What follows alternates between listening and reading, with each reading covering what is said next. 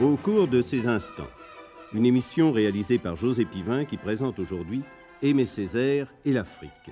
Des scènes des tragédies de Aimé Césaire et Les chiens se taisaient, la tragédie du roi Christophe et Une saison au Congo seront interprétées par Alain Cuny, Sylvia Montfort, Douta Sec, Médondo, Jacqueline Scott Lemoine, Lucien Lemoine, Catherine Georges, Suzanne Michel, André Fouché, Yvan Labéjoff, Jean Marconi, Gérard Dournel, Henri Gilabert, Jean Topard et Jean Negroni.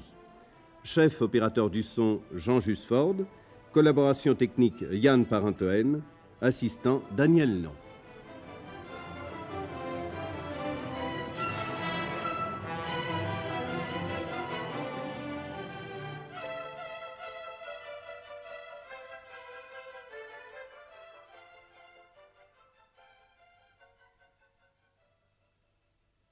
Cours de ces instants que nous allons passer avec Aimé Césaire, nous verrons s'avancer sur les rivages d'un monde d'avenir un homme chargé des forces que peut nous apporter l'expérience ancestrale et l'hétéro propice. Aimé Césaire, pour que nous puissions mieux comprendre vos attitudes, vos démarches et vos réactions, voulez-vous nous dire si, d'après vous, il existe entre un homme noir et un homme blanc, par exemple, une différence qui va plus loin que le fait d'être né sous des climats différents et d'avoir d'autres souvenirs Bien entendu, je pense qu'il n'y a pas d'âme noire en soi comme une sorte de substance. Seulement, je pense que les différences qu'il y a entre les hommes, entre les noirs et les blancs, par exemple, sont réelles. Elles ne sont pas biologiques, mais elles résultent de, la culture. Autrement dit, elles résultent euh, de l'histoire même des hommes euh, confrontés avec telle ou telle difficulté. On a toujours dit que, au fond, la grande unité humaine a été rompue lorsque euh, s'est faite en Europe euh, l'apparition de l'esprit scientifique, l'apparition de la logique, euh, l'apparition de l'esprit cartésien, enfin, on met ça sous le dos de Descartes, mais enfin, il y a tout un mouvement de pensée qui a commencé depuis très longtemps, la séparation du sacré et du profane, tout cela, eh bien, il est clair que euh, l'homme noir est encore l'homme d'avant cette séparation. Par conséquent, il y a chez lui une pensée, car c'est quand même une pensée, qui est d'avant le monde des catégories. Et il y a un intellectualisme moins hérissé et un contact, je crois, plus direct avec les choses, avec le monde et, avec l'autre, avec l'homme.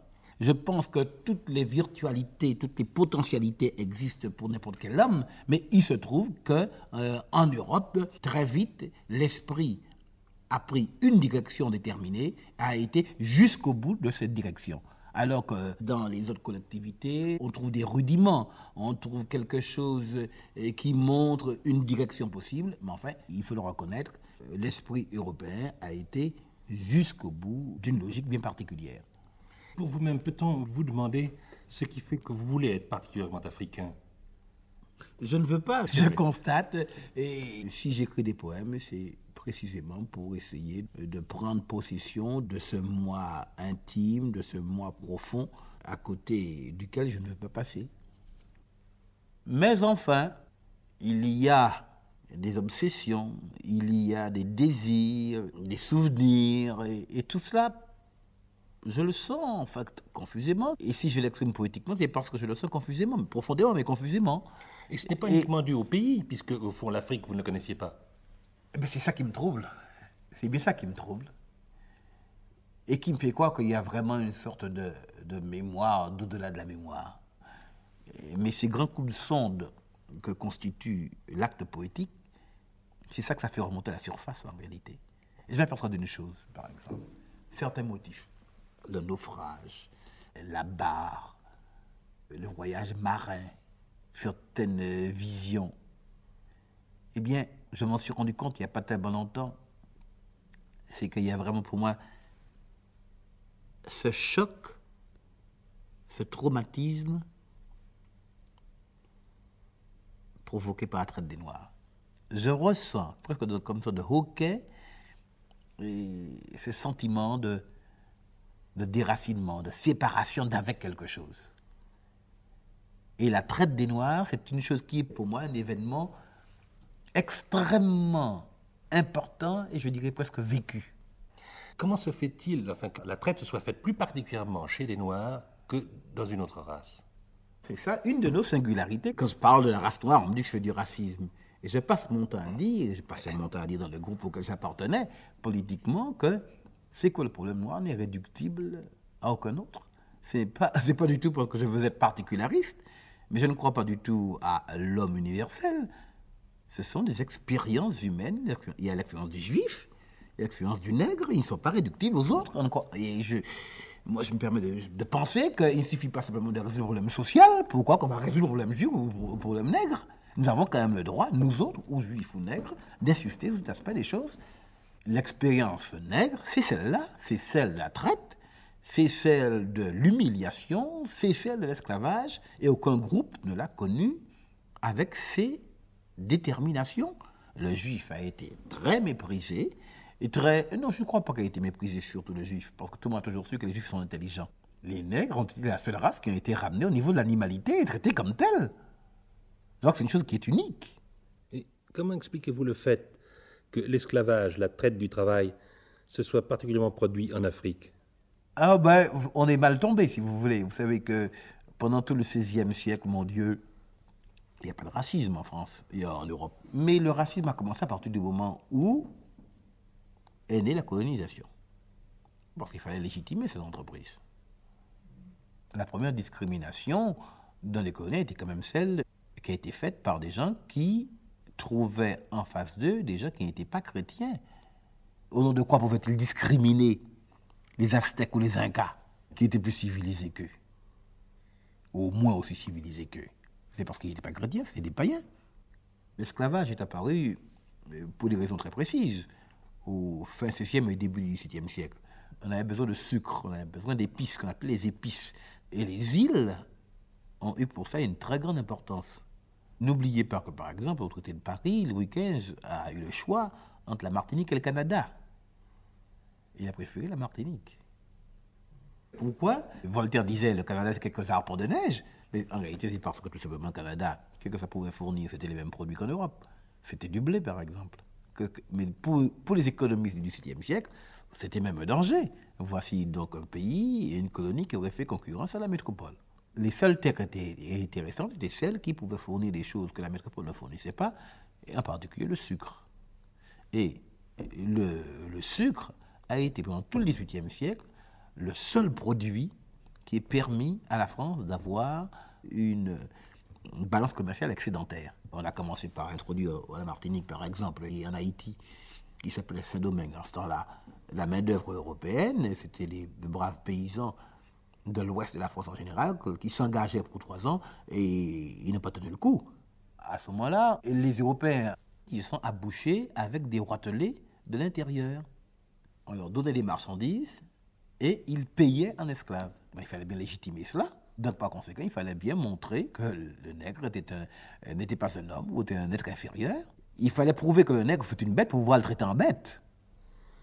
Mais n'y a-t-il quand même pas entre les races d'hommes des différences d'aptitude à faire telle ou telle chose, à ressentir ceci plutôt que cela? Je ne parle pas bien entendu de l'aptitude à être traité en esclave ou en prisonnier de camp de concentration. Bien sûr, euh, c'est sans doute vrai. Et J'accepte tout cela à une seule condition, c'est que euh, ça ne soit pas fondé sur une biologie. Vous savez, je suis toujours braqué, je, me souviens très bien euh, des théories de Renan, Renan expliquant, et Renan en, réalité avait bel et bien subi l'influence de Gobineau. Et, euh, Renan a bel et bien écrit que les races sont spécialisées, si vous voulez, que le blanc c'est le guerrier, de la c'est le conquérant et c'est le noble, il n'y a qu'un pas. Euh, que le jaune était avant tout l'ouvrier et, que le noir était avant tout l'homme de la terre, donc par conséquent le paysan, donc l'esclave. C'est une des raisons pour lesquelles je, euh, je suis toujours sous mes gardes lorsque on me pose des questions euh, de ce genre-là. Ceci étant dit, il est tout à fait évident que l'histoire très différente que ces différents groupes humains ont fait naître ou se développer telle qualité plutôt que telle autre. Autrement dit, si jamais on faisait la table rase un beau jour et qu'on mettait tout le monde dans les mêmes circonstances, il est tout à fait évident que le résultat était le même, même si la couleur de la peau est, différente. Tout ce que nous avons dit étant vrai, l'expérience étant extrêmement différente d'un groupe humain à l'autre, il est tout à fait évident euh, qu'il y a, semble-t-il, euh, malgré les variations individuelles à l'intérieur des groupes, en gros, on peut en gros dire que il y a des qualités qui sont en moyenne euh, plus courantes dans tel groupe euh, d'individus, dans tel groupe euh, humain, plutôt que dans tel autre, encore une fois, étant bien entendu que cela n'a qu'une valeur d'indication extrêmement générale, et l'existence même de tel et tel individu se chargeant de, de nuancer la vérité très générale de cette constatation. Vous avez longtemps utilisé la poésie sous sa forme la plus pure, le poème, comme moyen d'expression. Voulez-vous nous dire maintenant pourquoi vous paraissez vouloir utiliser la forme théâtrale pour vous exprimer?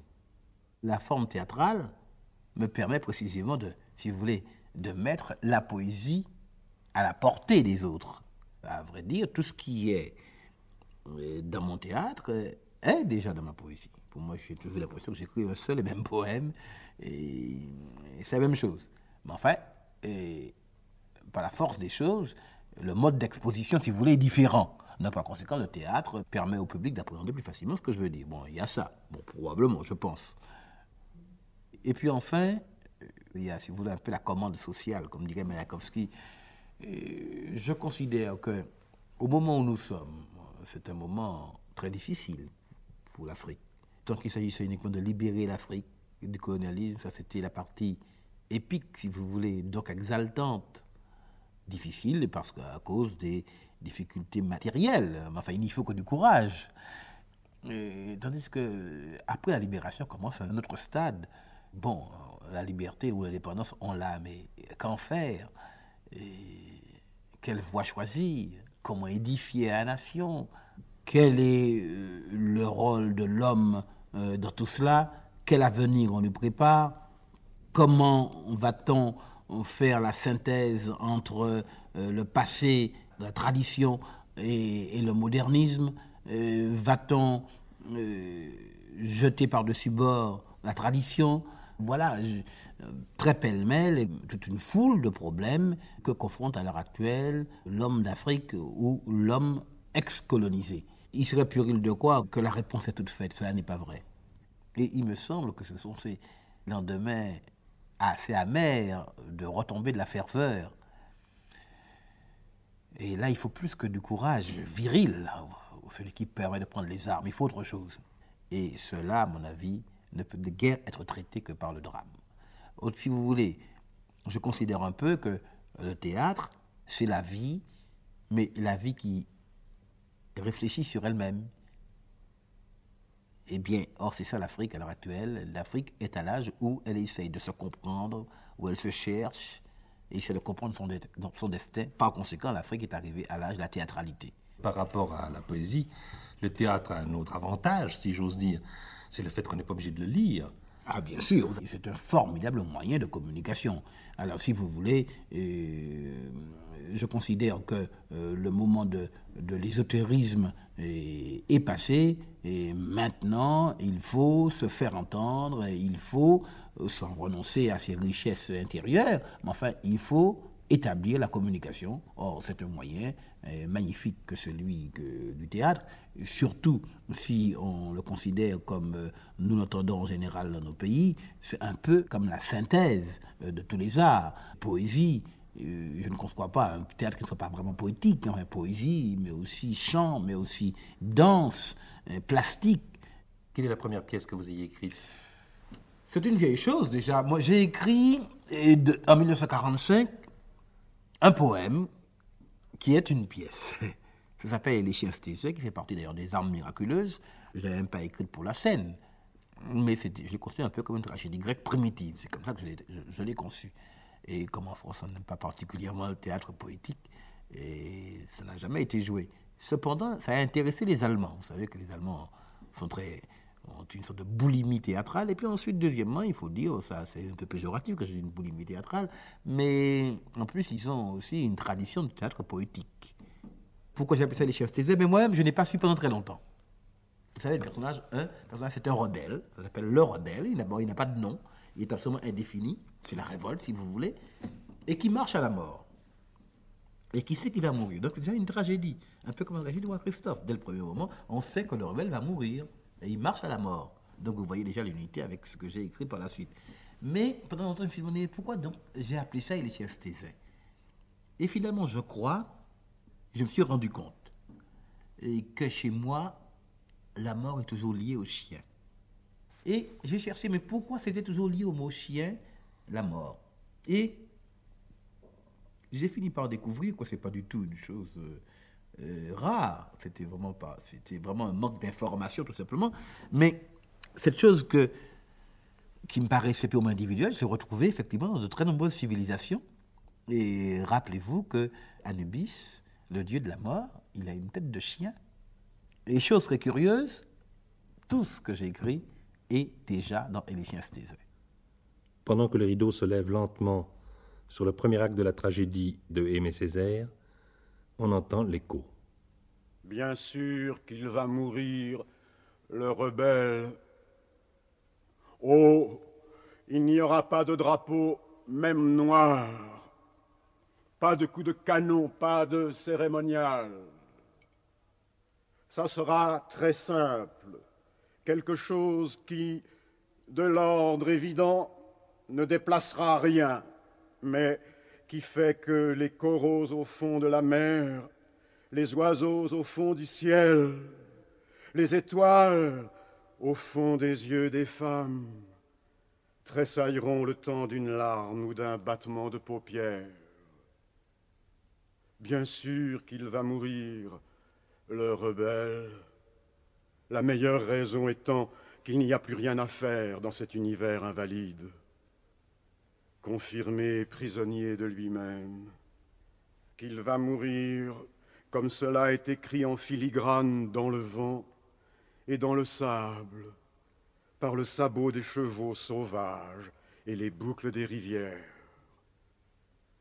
Gibier de morgue, ce ne sont pas des larmes qui te conviennent, ce sont les faucons de mes poings et mes pensées de silex c'est ma muette invocation vers les dieux du désastre. Architecte aux yeux bleus, je te défie. Prends garde à toi, architecte. Car si meurt le rebelle, ce ne sera pas sans avoir fait clair pour tous que tu es le bâtisseur d'un monde de pestilence. Architecte, prends garde à toi. Qui t'a sacré? En quelle nuit as-tu troqué le compas contre le poignard? Architecte, sourd aux choses claires comme l'arbre, mais fermé comme une cuirasse, chacun de tes pas est une conquête et une spoliation et un contresens et un attentat.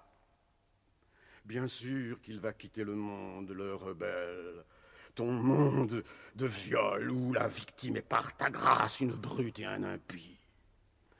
Architecte Orcus, sans porte et sans étoile, sans source et sans orient, architecte à la queue de pan, au pas de cancer, à la parole bleue de champignons et d'acier, prends garde à toi. Nous sommes maintenant dans une vaste prison, peuplée de nègres, candidats à la folie et à la mort. Les folles. Rentrez chez vous, jeune fille. Il n'est plus temps de jouer. Les orbites de la mort poussent des yeux fulgurants à travers le micablème. C'est une devinette? C'est la saison des étoiles brûlantes qui commence. Ah, c'est un conte. L'île raidit ses pattes d'araignée venimeuse sur la gadoue des baracones. Ouh, ouh, ouh, ouh. Jeune fille, respectez les étrangers qui passent sur les riches ornières du crépuscule. Puis les folles s'écartent paraît l'administrateur. Et nous leur aurions volé cette terre. Ah non. Mais ce n'est pas la même chose. Nous l'avons prise. À qui? À personne. Dieu nous l'a donnée. Et de fait, est-ce que Dieu pouvait tolérer qu'au milieu du remous de l'énergie universelle se prostra cet énorme repos, ce tassement prodigieux, si j'ose dire, ce provoquant avachisme Oui, nous l'avons prise. Oh, pas pour nous, pour tous, pour la restituer, inopportune stagnation, à l'universel mouvement et pour que tous en profitent, comme un scrupuleux fermier, comme un mandataire fidèle, nous la garderons. Peuple ingrat. C'est d'ailleurs un point à débattre s'il y a au monde, en dehors de nous, quelques peuples qui pensent, je dis qui vraiment pensent, et non qui ruminent le confus mélange de quelques brumes d'idées ramenées à ras de cervelle toutes tièdes de leur respiration ou de leur sommeil.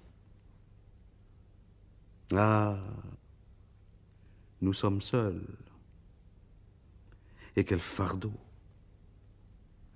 Porter à soi tout seul le fardeau de la civilisation. L'administrateur s'éloigne. L'amante s'approche du rebelle. Embrasse-moi. La vie est là. Le bananier hors des haillons lustre son sexe violet. Une poussière étincelle, c'est la fourrure du soleil. Un clapotis de feuilles rouges, c'est la crinière de la forêt. Ma vie est entourée de menaces de vie, de promesses de vie. Ô mort, où la faim n'avarie Ô dents douces, deux enfants noirs sur ton seuil, ils sont sans parentage, mort grasse, deux enfants maigres se tenant par la main sur ton seuil, ils sont crépusculaires et faillis. Ô mère, ô ressac, ô troupeau de flammes furibondes, moutonnez vos semences. Ô mort, deux enfants noirs dans ton soleil, Sois l'air tranquille et tiède. Ô mort dévoreuse de pigments, grande égale, grande juste, sans shérif ni gendarme, grande enrouleuse, grande endormeuse de frères. Embrasse-moi, l'heure est belle. Qu'est-ce que la beauté sinon ce poids complet de menaces? Que fascine et séduit à l'impuissance le battement désarmé d'une paupière? Qu'est-ce que la beauté, sinon l'affiche lacérée d'un sourire sur la porte foudroyée d'un visage? Qu'est-ce que mourir, sinon la face pierreuse de la découverte Le voyage hors de la semaine et de la couleur à l'envers du soleil Ne calomnie pas le soleil. Est-ce que je maudis l'ombre, moi? Je te chéris, ombre, pêcheur des beaux crins chevelus du soleil dans tes ruisseaux incertains, oh le vent, et ses doigts d'orpailleur attardés. Ô mort, ô reine, ô tisseuse aux bons bras, ô cardeuse, ô doigts froids sans onglets. Nous sommes là devant toi, deux râleux et cagneux au travers de la chaîne, et vers le simple silence, lancez votre navette faite de vers somptueux. Beaux doux amis, le ciel ingrat sans nous se peuplera-t-il de faucons dessillés? Les huîtres perlières sans nous, sous le couvercle du temps, apaiseront-elles de longs gestes dormants le serpentement de la blessure obscure? Beaux doux amis, sans nous le vent s'en ira-t-il des florents gémissant vers la tente cambrée? Le parfum de la mandragore s'est séché. La colline chasse sur ses haussières. Les grands remous des vallées font des vagues. Les forêts dématent, les oiseaux font des signaux de détresse, où nos corps perdus bercent leurs épaves blanchies. J'ai capté dans l'espace d'extraordinaires messages, pleins de poignards de nuit, de gémissements. J'entends plus haut que les louanges une vaste improvisation de tornades, de coups de soleil, de maléfices, de pierres qui cuisent de petits jours étranges l'engourdissement bu à petites gorgées. Un oiseau sans peur jette son cri de flamme jeune dans le ventre chaud de la nuit. Un grand brasier de prunelles rouges et de crabes. Un ensemencement pour voir, de mouches, de palabres, de mauvais souvenirs, de pistes de termites, de fièvres à guérir, de torts à redresser, un bâillement d'alligator, une immense injustice. Après Et les chiens s'est aisé, vous avez écrit Le roi Christophe, qui a été récemment monté à Paris par Jean-Marie Serrault. Pouvez-vous nous parler de cette pièce? Oui. Alors voilà, euh, j'ai écrit trois pièces. Euh, j'ai écrit Et les j'ai écrit Le roi Christophe et je viens de terminer euh, une saison au Congo. Eh bien, pour moi, ce n'est pas très différent. La fabulation peut être différente, une facette est plus ou moins éclairée, mais enfin, au fond, c'est toujours la même chose. Et je pense que c'est comme ça pour tout homme et pour tout poète. Ce sont des tragédies. Autrement dit, ce sont toujours, c'est toujours le cérémonial de la mort. C'est la, la, la, marche d'un individu vers la mort. Bon. Mais dans Et les chiens se taisaient, c'est un homme tout seul, tout seul avec ses fantasmes et avec ses cauchemars ou avec ses rêves. Finalement, on peut dire que c'est un homme euh, qui incarne une valeur et qui se brise, qui se débat avec lui-même. Le roi Christophe, euh, c'est déjà autre chose. C'est également en la marche à la mort, c'est également un homme qui se débat, et lui aussi il incarne une valeur, une valeur différente, puisqu'ici c'est à la fois la liberté et, le pouvoir, et qui se brise contre un obstacle. Et cet obstacle, euh, ce n'est pas tellement un obstacle intérieur, encore qu'il y ait quand même des obstacles intérieurs, mais enfin, l'obstacle majeur, en la circonstance, hum, c'est le peuple auquel il appartient. Ce n'est pas une histoire que j'ai inventée. Il n'en est rien, le Christophe, c'est un personnage euh, très réel que j'ai rencontré euh, au moment où j'écrivais un livre, c'est tout une ouverture. C'est un homme qui a existé, qui a été euh, nommé général par les Français, et nous connaissons fort bien sa vie. Il a régné pendant une quinzaine d'années. Les vestiges de son œuvre existent encore en Haïti, puisqu'on peut admirer encore les ruines de son très beau château et les ruines absolument impressionnantes, une formidable citadelle qu'il a construite euh, dans la ville du Cap, dans le nord de Haïti.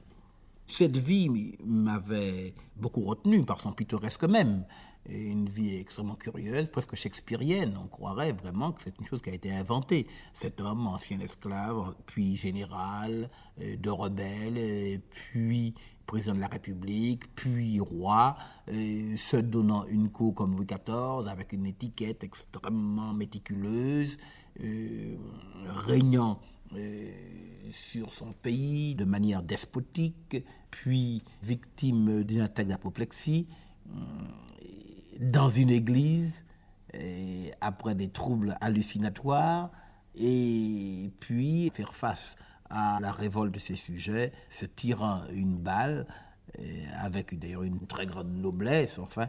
Et ce personnage me paraît extrêmement curieux, du point de vue humain, si vous voulez. Et puis alors, en dehors de cet intérêt historique, cet intérêt psychologique, il m'a semblé que dans le roi Christophe se posait toute une série de problèmes qui sont exactement euh, les mêmes qui se posent à l'heure actuelle dans les pays euh, qui étaient encore tout récemment des colonies. Vous voyez bien les événements qui se passent un peu partout. Tout ce drame humain, très largement humain, prend un relief tout particulier en Afrique. Mais j'insiste beaucoup, je crois que ce n'est pas propre à l'Afrique. Et pour ma part, moi, j'ai toujours pensé que des Christophe Blanc, euh, ils sont trop, si je puis dire, à l'appel dans toute l'histoire, aussi bien l'histoire de France que l'histoire de Russie. Après tout, il m'a semblé que, par conséquent, euh, à travers le roi Christophe, on pouvait évoquer des problèmes très modernes et très actuels. Nous sommes maintenant dans le palais du roi Christophe. Vasté, baron secrétaire de Christophe, et Magny, général et duc de Plaisance, parlent au milieu de la foule des courtisans. Ce roi noir, un comte bleu, n'est-ce pas? Ce royaume noir, cette cour, parfaite réplique en noir de ce que la vieille Europe a fait de mieux en matière de cour. Mon cher Vasté, je suis un vieux soldat. J'ai commandé sous Toussaint et Dessalines, et je vous dirai tout franc que je suis mal fait à ces manières courtisanesques dont vous avez l'air de faire vos délices. Mon cher collègue, Magny, vous le duc de Plaisance, tenir ce discours. Avec nos titres ronflants, duc de la limonade, duc de la marmelade, comte de trou bonbon. Nous avons bonne mine, vous pensez, les Français s'en tiennent les côtes. Homme de peu de foi. Allons, le rire des Français ne me gêne pas. Marmelade, pourquoi pas? Pourquoi pas limonade? Ce sont des noms à vous remplir la bouche, gastronomique à souhait. Après tout, les Français ont bien le duc de Foix et le duc de Bouillon. Est-ce plus ragoûtant? Il y a des précédents, vous voyez. Quant à vous, Magny, parlons sérieusement. Avez-vous remarqué qui l'Europe nous a envoyé quand nous avons sollicité l'aide de l'assistance technique internationale? Pas un ingénieur, pas un soldat, pas un professeur. Un maître de cérémonie. La forme, c'est ça, mon cher, la civilisation, la mise en forme de l'homme. Pensez-y, la forme, la matrice d'où monte l'être, la substance, l'homme même, enfin tout. Le vide, mais le vide prodigieux, générateur et plasmateur. Que signifie ce galimatière Il y en a un qui le comprend d'instinct. C'est Christophe. Avec ses formidables mains de potier pétrissant l'argile haïtienne, lui du moins, je ne sais s'il sait, mais mieux, il sent la flairant la ligne qui serpente de l'avenir. La forme, quoi. C'est quelque chose, croyez-moi, dans un pays comme le nôtre. Au diable vos rêveries d'esthéticien gourmet.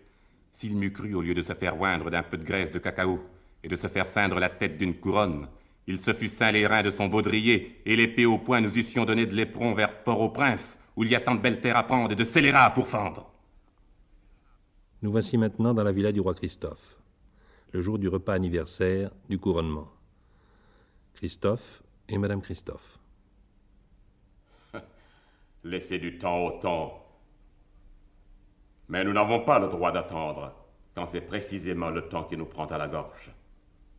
Sur le sort d'un peuple, s'en remettre à la pluie, aux saisons, au soleil.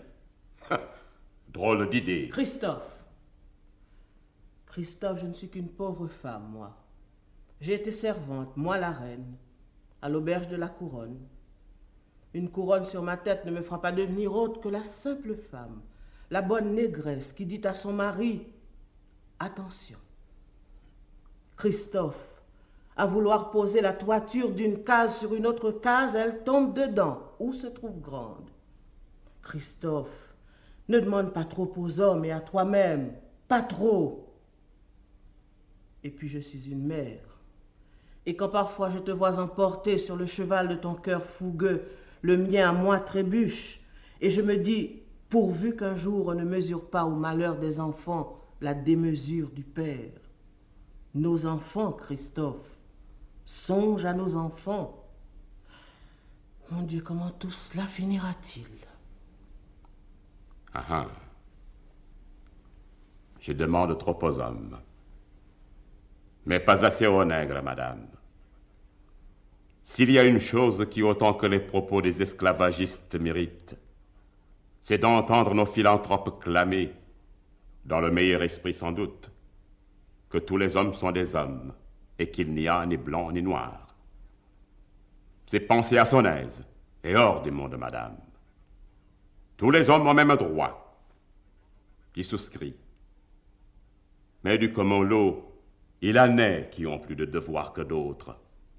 Là est l'inégalité, une inégalité de, de sommation. Comprenez-vous?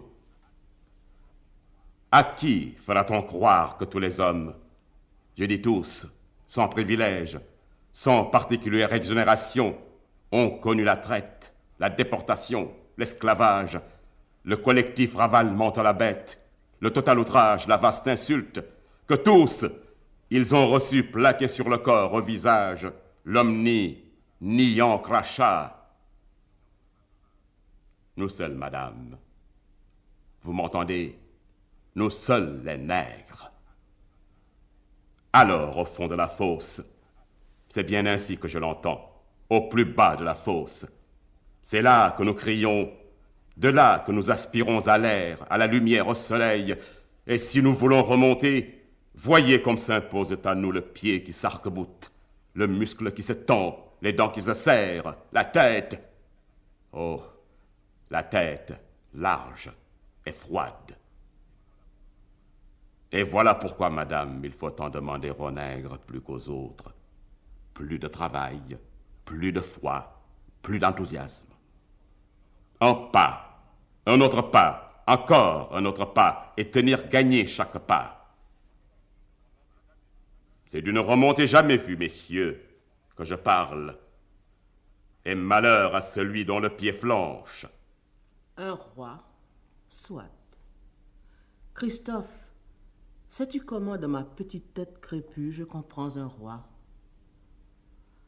C'est au milieu de la savane, ravagée d'une rancune de soleil, le feuillage dru et rond du gros Mont-Bain, sous lequel se réfugie le bétail, assoiffé d'ombre. Mais toi, je me demande parfois si tu n'es pas plutôt à force de tout entreprendre, de tout régler, le gros figuier qui prend toute la végétation alentour et l'étouffe. Ah Cet arbre s'appelle un figuier maudit. Pensez-y, ma femme. Hum.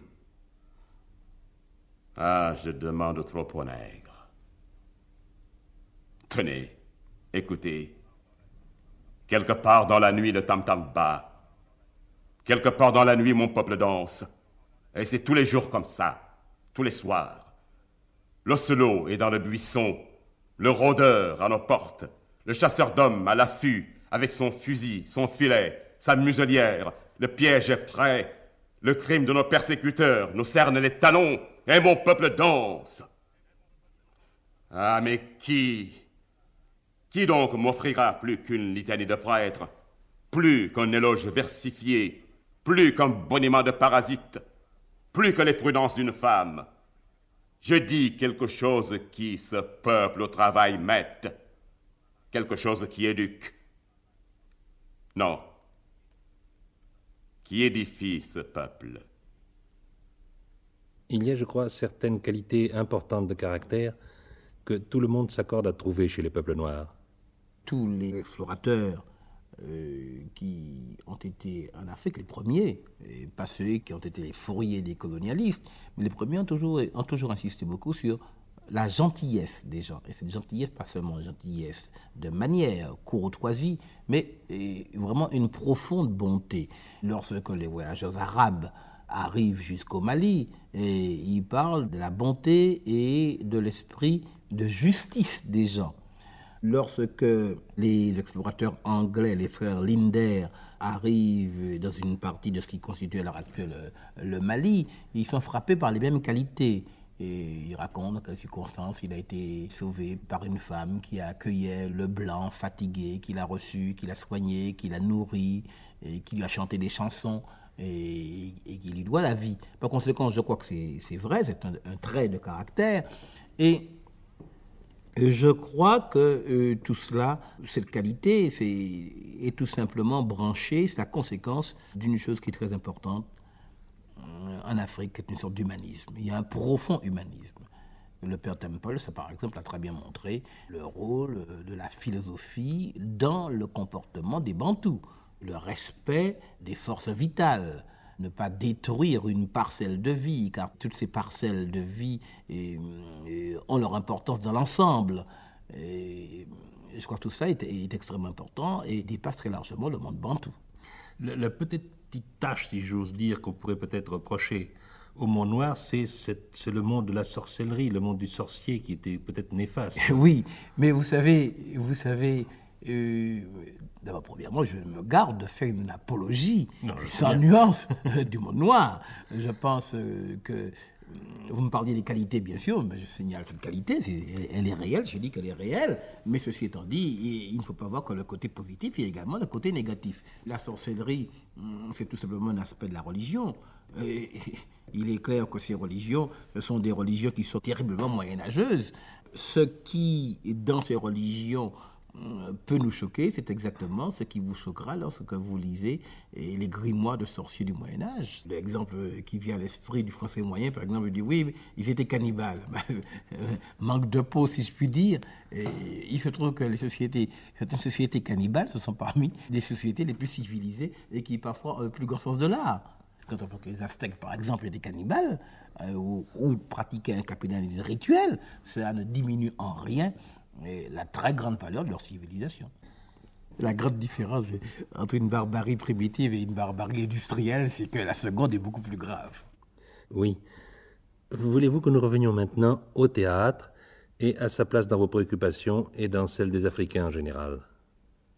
Je pense que la préoccupation que j'ai à l'heure actuelle du théâtre, provient en grande partie de la situation même dans laquelle se trouvent les peuples noirs les peuples noirs sont confrontés à l'heure actuelle avec de très grands problèmes, avec d'immenses problèmes. Je dois dire que euh, je suis souvent angoissé quand je pense euh, à l'avenir euh, de ces pays africains ou au sort des nègres américains ou au sort des Antilles. Et alors, il me semble que cette problématique même débouche tout naturellement dans le théâtre. Parce que le théâtre, dans mon esprit, n'est pas du tout un théâtre de mots d'ordre. Il ne s'agit pas tout simplement d'apporter une réponse toute faite je considère que euh, le théâtre, c'est la, vie qui réfléchit sur elle-même pour essayer de se saisir et de s'appréhender. Et par conséquent, il est tout à fait euh, normal euh, qu'au moment où l'Afrique se cherche, on, voit apparaître un peu partout dans tous ces pays-là un besoin de théâtre, il y a une fin de théâtre. Et j'ai essayé de mon côté de répondre à ce besoin. Et voici quelques scènes de la dernière pièce de Aimé Césaire, Une saison au Congo. Nous sommes dans le quartier africain de Léopoldville. Un attroupement d'indigènes autour d'un bonimenteur, sous l'œil plus ou moins inquiet de deux agents de police belges.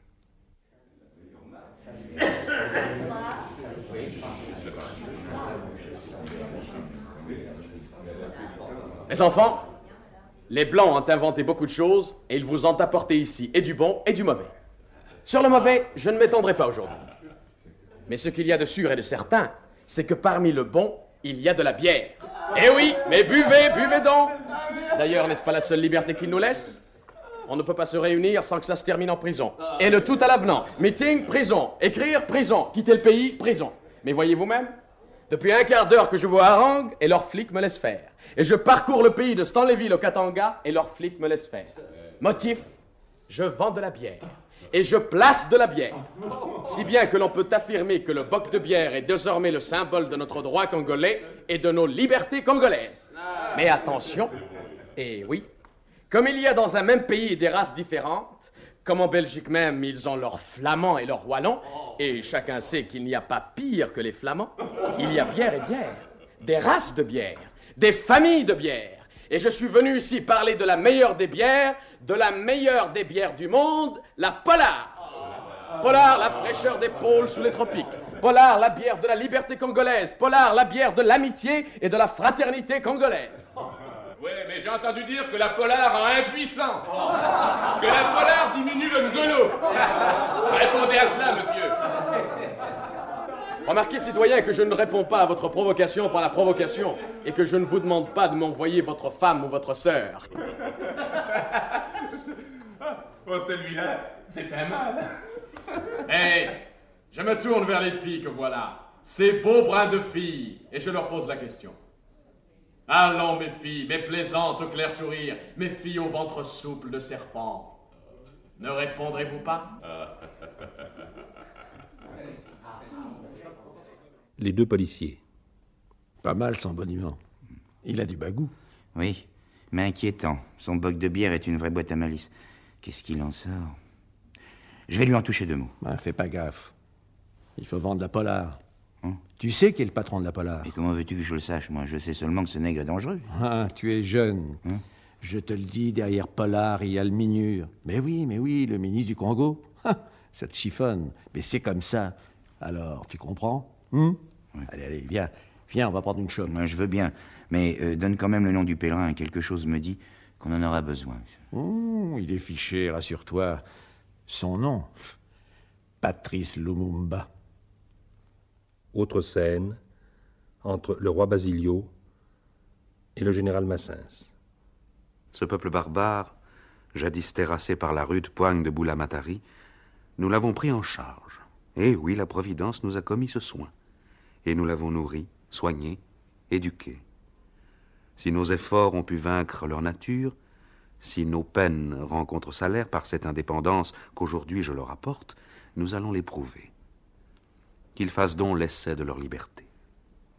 Ou bien ils donneront à l'Afrique l'exemple que nous-mêmes donnons à l'Europe, celle d'un peuple uni, décent, laborieux, et l'émancipation de nos pupilles nous fera dans le monde quelque honneur, ou bien la racine barbare, alimentée dans le puissant fond primitif, reprendra sa vigueur malsaine étouffant la bonne semence inlassablement semée pendant cinquante ans par le dévouement de nos missionnaires. Et alors? Et alors? Nous aviserons en temps utile, Massens. Faisons plutôt confiance à la nature humaine, voulez-vous? Vous savez, Majesté, que je ne suis guère enthousiaste de ces expériences, lesquelles portent au demeurant la marque de la hardiesse et de la générosité qui caractérise le génie de Votre Majesté. Mais puisque vous le voulez. Dis-moi cette liberté dont ils ont fumé le mauvais chanvre et dont les émanations les enivrent de si déplorables visions, qu'ils sentent, qu'ils la reçoivent, et non qu'ils la conquièrent. Majesté, je ne les crois pas si obtus qu'ils ne sentent toute la différence qui sépare un droit qui leur serait reconnu d'un don de votre munificence royale. Rassurez-vous, Massens. Je leur marquerai dans les formes les plus expresses. Mais les voici. Arrive Kalaloubou, s'adressant à la foule. Euh, monsieur le premier bourgmestre. Oh, excusez-moi, c'est monsieur le premier ministre que je veux dire. Mon souci est que les choses se passent bien. Je veux dire convenablement. Les règles de la politesse nous en font un devoir. Les règles de la politique. Le temps serait mal choisi de plaintes, de récriminations, de paroles tonitruantes et malsonnantes.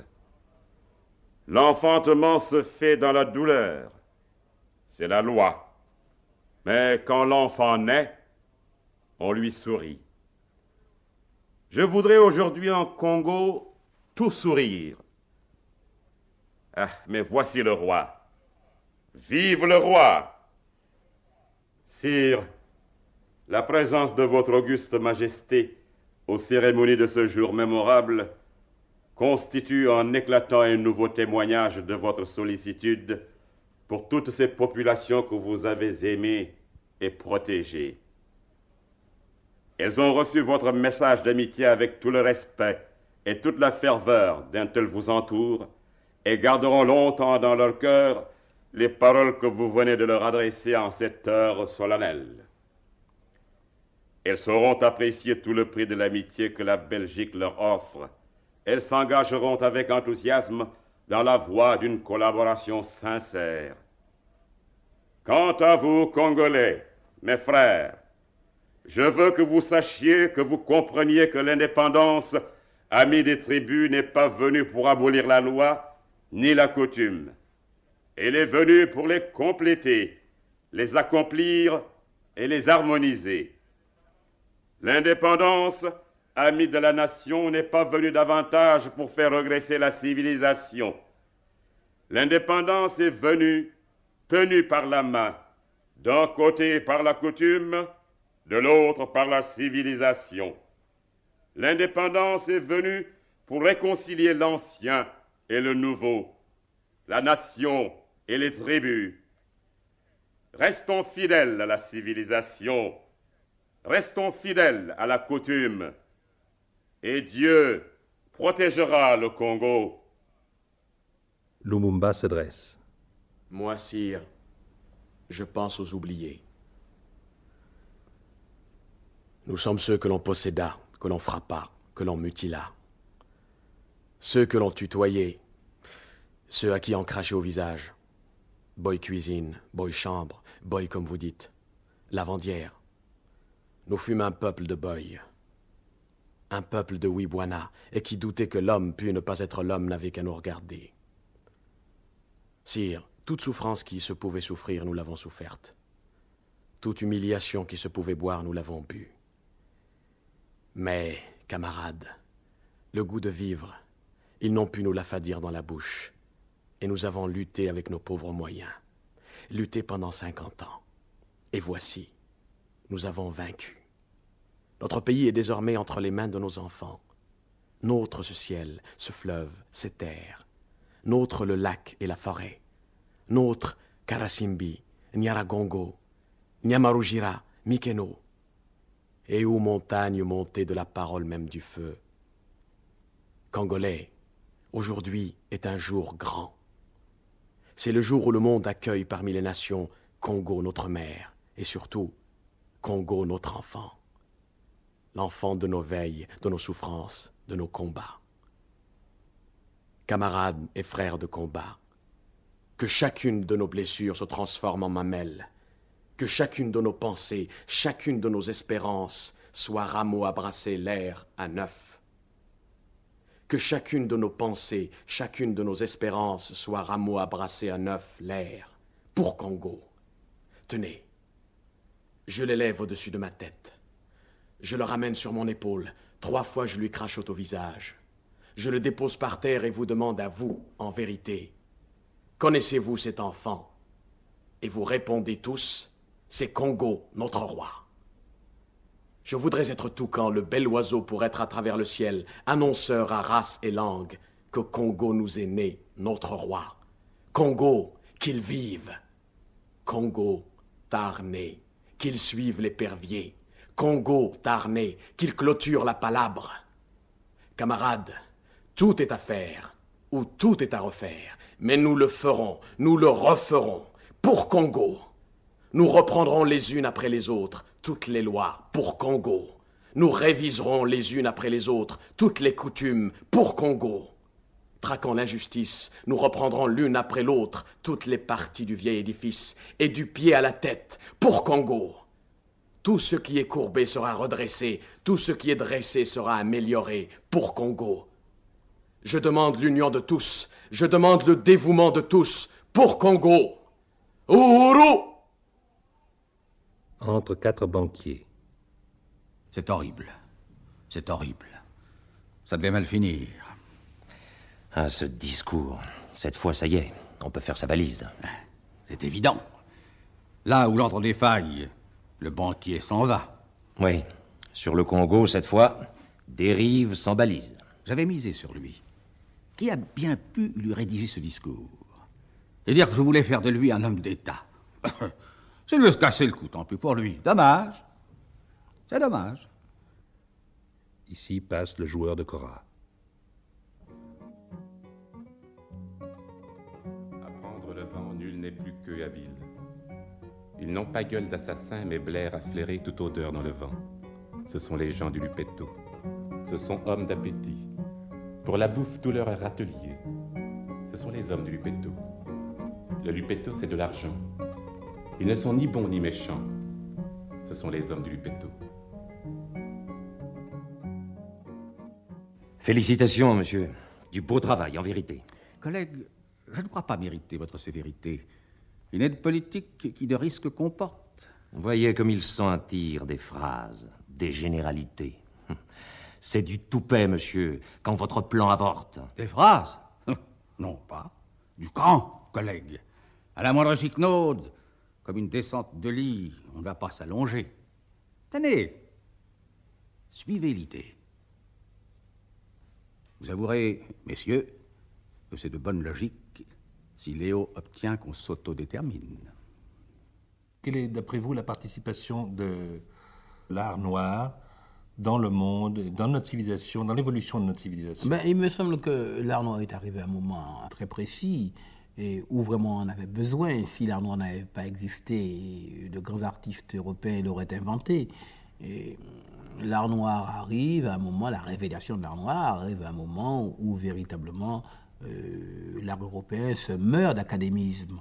Euh, on ne voit plus les choses, on ne sent plus les choses. Il y a une telle tradition euh, de l'école qui s'interpose entre le monde et les choses.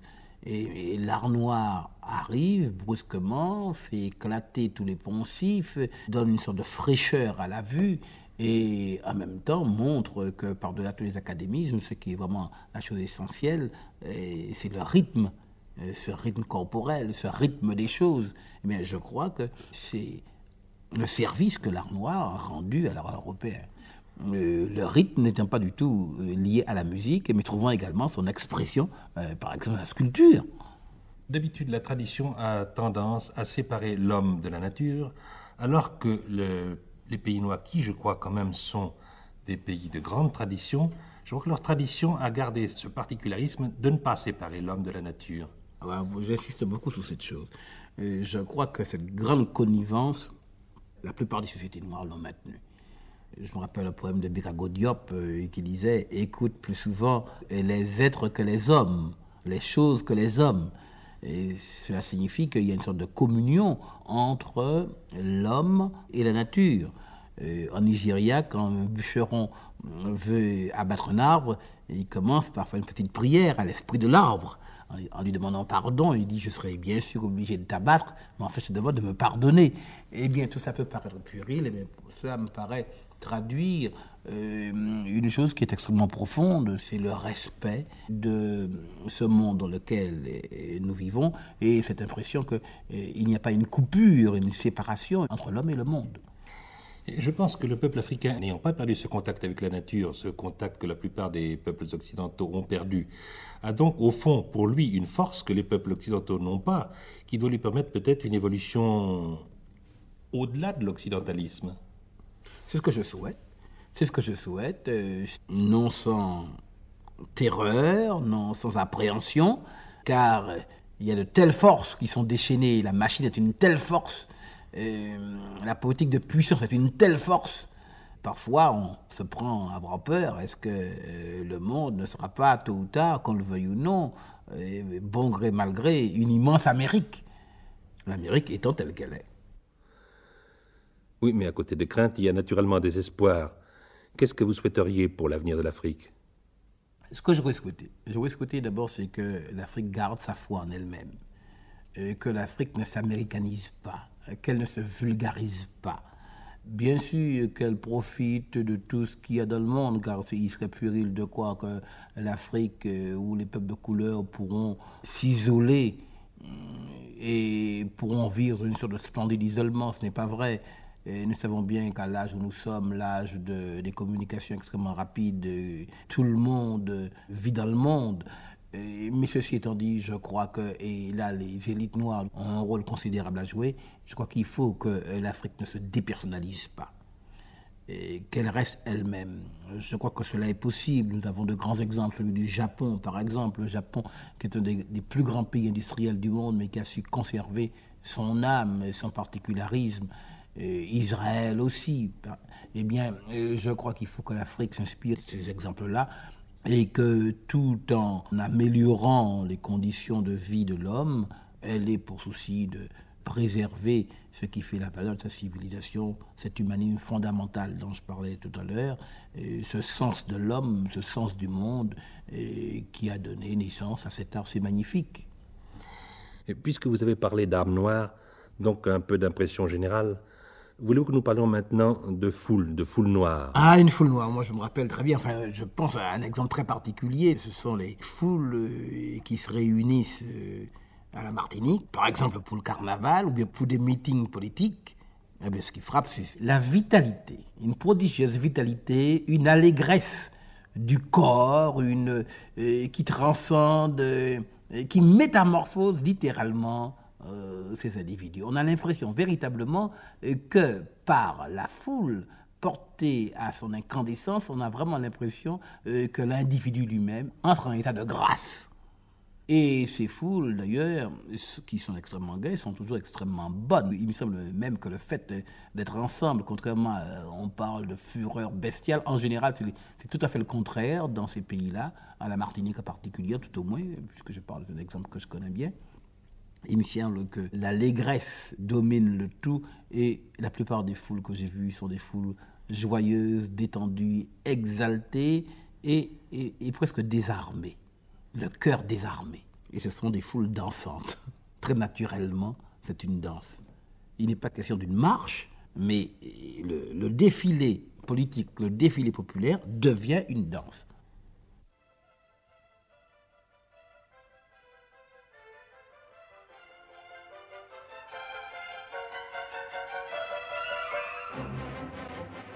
Au cours de ces instants, une émission réalisée par José Pivin qui vous a présenté aujourd'hui Aimé Césaire et l'Afrique.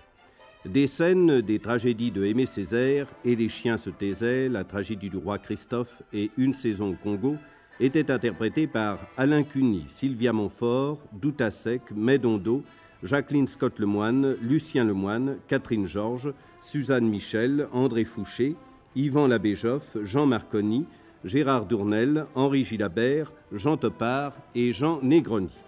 Chef opérateur du son, Jean Jusforgue. Collaboration technique, Yann Paretoen. Assistant, Daniel Lang.